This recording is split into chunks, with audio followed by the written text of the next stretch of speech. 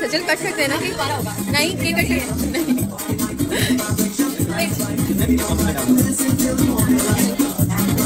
सचल कट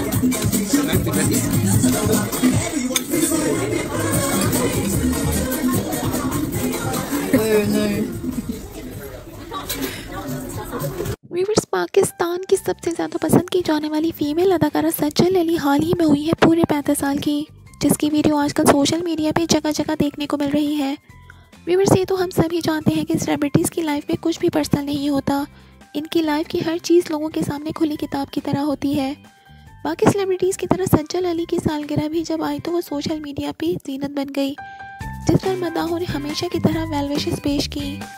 लेकिन सज्जल अली की ये सालगिरह दिलचस्प और हैरान कुन थी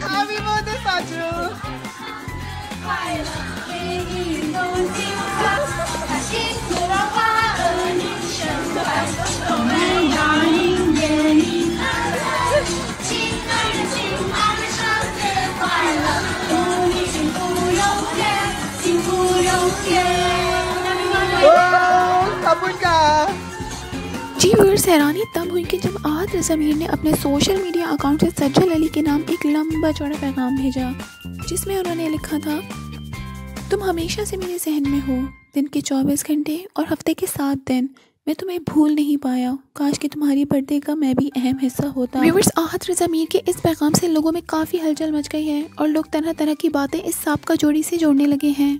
व्यूवर्स पाकिस्तान शोबिस इंडस्ट्री में लोग ईमान खान और मुनीब भट्ट की जोड़ी लोगों में सबसे ज़्यादा मकबूल रही है। लेकिन एक वक्त सज्जल अली और आहद रसम की जोड़ी ने लोगों में इनसे भी ज़्यादा मकबूलियत हासिल कर ली थी। लेकिन अचानक से इनकी तलाक की खबरों ने लोगों को काफ़ी शॉक कर दिया था। जी व्यूअर्स आपको हमारी वीडियो कैसी लगी तो हमें कमेंट सेक्शन में ज़रूर बताइएगा। और अगर आपने हमारे चैनल को अभी तक सब्सक्राइब नहीं किया है तो आप हमारे चैनल को जल्दी से सब्सक्राइब कर लें।